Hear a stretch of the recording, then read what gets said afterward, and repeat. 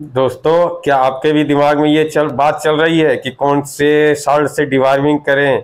एलवेंडाजोल की फेलवेंडाजोल लेवामिसोल की आइवरमेक्टिन ये सब टेंशन का निपटारा करने के लिए ये बहुत अच्छा वीडियो है। इस वीडियो में कब कौन से साल्ट से आप डिवार्मिंग करेंगे, कैसे करेंगे, प्रॉपर तरीके से बहुत सारा दवाई को इसमें ऐड किया है तो वीडियो को ज़रूर से ज़रूर देखें। किसान मित्रों आप सभी भाइयों का हमारे चैनल आर के गोड फार्म चतरा झारखंड में स्वागत है। अगर मेरे चैनल को सब्सक्राइब नहीं किया तो कर ले।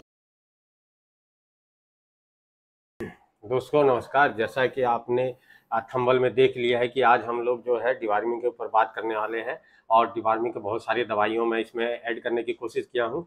और रही बात है, इसमें तो हम लिक्विड फॉर्म में ही बात करेंगे और अगला जो वीडियो डिवार्मिंग का आएगा वो सिर्फ़ टेबलेट फॉर्म में रहेगा। तो ये है।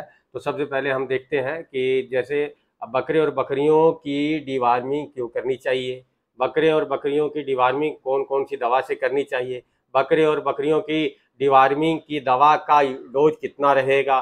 बकरे और बकरियों की डिवार्मिंग की दवा का साठ कौन सा रहे रहना चाहिए?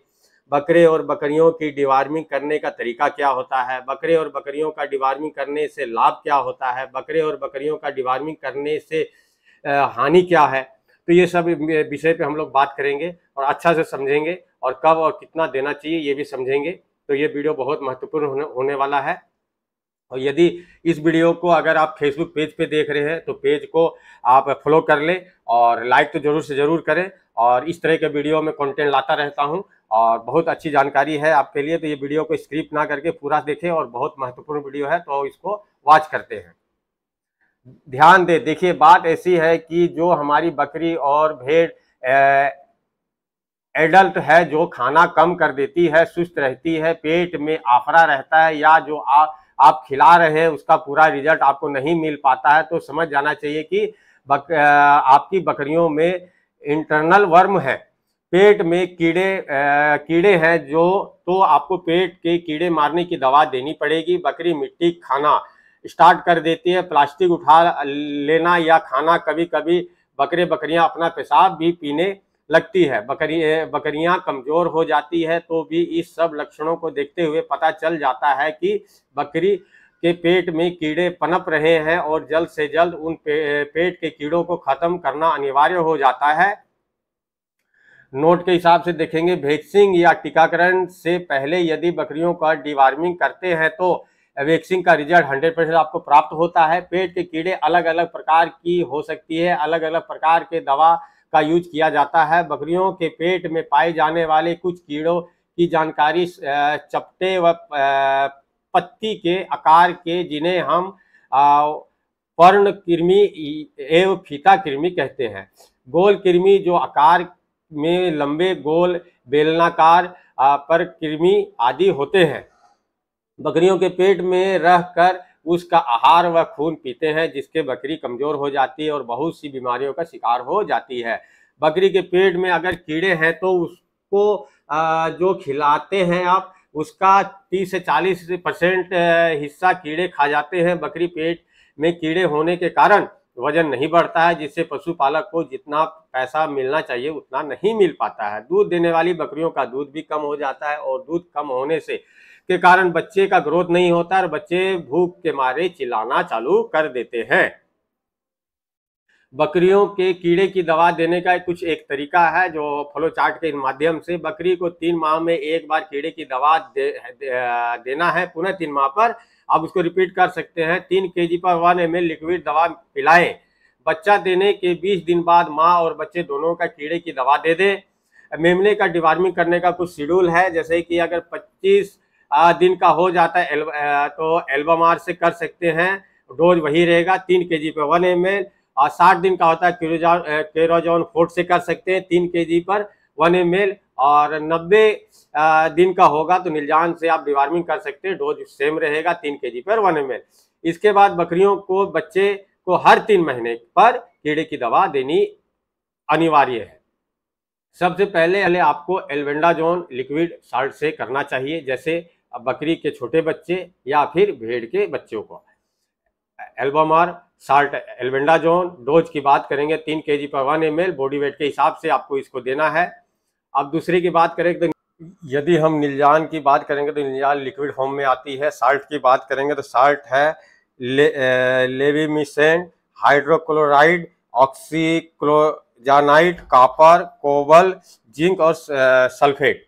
और डोज की बात करेंगे तो तीन के जी पे वन एम बॉडी वेट के हिसाब से इसको आप दे सकते हैं। और ये दूसरा, तीसरा तीसरा लिक्विड की फॉर्म करेंगे तो क्यूराजोन फोर्ट है लिक्विड फॉर्म में। तो अगर इसकी अगर बात करेंगे तो साल्ट में इसका ऑक्सीक्लोजानाइट और क्या कहते हैं, साथ में फेलवेंडाजोन भी है। तो डोज की बात करें, तीन के जी पे वन एम बॉडी वेट के हिसाब से आप इसे भी यूज़ कर सकते हैं। और चौथा की चौथा लिक्विड की बात करेंगे तो फेल फेंटास प्लस लिक्विड फॉर्म में आती है। साल्ट की बात करें तो फेलवेंडा जॉन जॉल इसमें है और साथ में इसमें प्रेजिक के टेल प्रेजिक के प्रेजिकेटेल भी है। डोज की बात करें तीन के जी पर वन एमएल बॉडी वेट के हिसाब से आप इसे भी यूज़ कर सकते हैं। और सात नंबर में हम जो लिए हैं और पाँचवा नंबर में आप देख सकते हैं, यहाँ पे रेफ्लेक्स प्लस लिक्विड फॉर्म में आती है। और इसमें साल्ट की बात करेंगे रिफाइक सोनाइट एंड लेवामिसोल लेवामिसोल इसमें क्या तो साल्ट पड़ा हुआ है तो डोज की बात करें तीन के जी पे वन एमएल आप यूज़ करते बॉडी वेट के हिसाब से।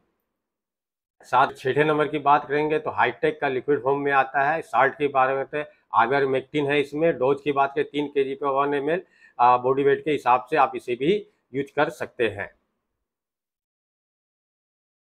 नंबर की अगर हम बात करेंगे तो जायक्लोज हमने ओरल सोल्यूशन लिया है और ये बहुत अच्छी दवा है। इसके ऊपर अगर आप बोलिएगा तो मैं अगला वीडियो में आपको बहुत अच्छी तरह से बताने की कोशिश करूँगा और दिखाने की कोशिश करूँगा।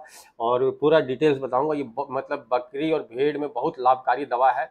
और इससे डिवार्मिंग करने पर कोई भी साइड इफ़ेक्ट नहीं होता है, उसको लीवर को इफ़ेक्ट नहीं पड़ता है, कई तरह का दिक्कत नहीं है स्ट्रेट में अब हमारी बकरियाँ नहीं आती, बहुत अच्छी दवा है, इसके ऊपर पूरा वीडियो में अगला वीडियो लेके आने वाला हूँ तो आप उसको भी आप वॉच कर सकते हैं, देख सकते हैं और समझ सकते हैं। और साल्ट की बात करेंगे करेंगे तो इसमें क्लोसेंटल है पंद्रह परसेंट और बॉडी वेट के हिसाब से बात करेंगे तो दस के पर वन एम बॉडी वेट के हिसाब से आप इसको दे सकते हैं। नो अगर यहाँ पे एक चीज़ विशेष ध्यान देंगे कि बकरियों को डी वार्मिंग हमेशा खाली पेट करवानी है। हो सके तो रात के 10 से 11 बजे या फिर सुबह 5 बजे करें खाली पेट डिवार्मिंग करने के बाद कम से कम दो से तीन घंटे बाद खाने को सूखा चारा दें, फिर खाने के पश्चात पानी पिलाएँ, उसके बाद आप इसे हरा चारा खिला सकते हैं। तो यहाँ पर थोड़ा सा मैं क्लियर कर देता हूँ आपको। जैसे कि हमने शाम को छः सात बजे हमने बकरियों को खिला दिया है। खिलाने के बाद उसको खाना पीना बंद करिए, कम से कम चार घंटा उसे छोड़ दिए। चार घंटा के बाद अगर हम थोड़ा सा, अगर मतलब पाँच से दस ग्राम अगर उसको गुड़ खिला देते हैं या फिर गुड़ पिला देते हैं तो ज़्यादा अच्छा बेनिफिट रहता है। उसके दो तीन घंटे के बाद जैसे दस ग्यारह बजे हम उसका डिवार्मिंग कर सकते हैं, बारह बजे डिवार्मिंग कर सकते हैं तो रात भर उसको लगेगा। या फिर नहीं कर सकते तो रात को हमने गुड़ दे दिया। सुबह अगर पाँच बजे अगर हम उसको डिवार्मिंग की दवा दे देते हैं तो हमको 100 परसेंट उसका रिज़ल्ट मिलेगा। और दवा देने के बाद दो तीन घंटे तक उसको कुछ देना नहीं है। पानी तो बिल्कुल नहीं पिलाना हरा चारा तो बिल्कुल नहीं खिलाना। है यहाँ पे करना क्या है कि दो तीन घंटा अगर दवा देने के बाद हो गया है तो आप उसको सूखा चारा जो है, सूखा चारा दें। अगर हंड्रेड परसेंट डिवार्मिंग का आपको रिज़ल्ट लेना है तो और नहीं तो फिर आप जैसे मर्ज़ी वैसे कर सकते हैं, लेकिन हमारा यहाँ पे कर्तव्य था बताने के लिए कि आपको हंड्रेड परसेंट डिवार्मिंग का फ़ायदा कैसे मिलेगा। तो कम से कम बकरियाँ भूखे पेट जितना ज़्यादा करवाइएगा, उतना अच्छा है। हो सके तो रात को अगर आपने 10-11 बजे उसको गुड़ खिला दिए, उसके बाद छोड़ दीजिए, सुबह पाँच बजे के लमसम उसको डिवार्मिंग की दवा दीजिए, सात आठ बजे आप हो सके तो उसको सूखा चारा दीजिए खाने के लिए। पहले सूखा चारा अगर वो खा लेती है कुछ, उसके एक डेढ़ घंटे, दो घंटे के बाद उसको पानी वगैरह पिलाइए, उसके बाद हरा चला, चारा खिलाइए, कोई तरह का दिक्कत नहीं है। तो ये ये सब चीज़ें हैं और रही बात ये है कि ज़्यादा ना बोलते हुए अपने वाणी को विराम देता हूँ। इसलिए मैं वाणी को विराम देता हूँ कि मेरे को फिर आपको अगले वीडियो में मिलना है। और अगर ये वीडियो अगर आप फेसबुक पेज पे देखे हैं तो पेज को आप क्या फॉलो कर लें और लाइक तो ज़रूर ज़रूर करें। रही बात यहाँ पे एक चीज़ और मैं बताने की कोशिश कर रहा हूँ आपको कि इस तरह की मैं डिवार्मिंग में पूरी जानकारी इसमें देने की कोशिश किया हूँ। अगर कहीं से आप कुछ छूट गया हो तो आ, आप माफ़ कीजिएगा। रही बात है कि अगला जो डिवार्मिंग का मैं वीडियो लेके आऊँगा जब भी लेके आऊँगा तो ओनली फॉर टेबलेट के ऊपर लेके आऊँगा। जितने भी टेबलेट होते हैं डिवार्मिंग के जो बकरियों में और हमारे क्या कहते हैं ये भेड़ों में कामयाब आता है उसी के ऊपर लेके आने वाला हूँ। तो ज़्यादा ना बोलते हुए जय हिंद जय जोहार वंदे मातरम। फिर मिलेंगे नए टॉपिक के साथ नई वीडियो में। तब तक के लिए धन्यवाद।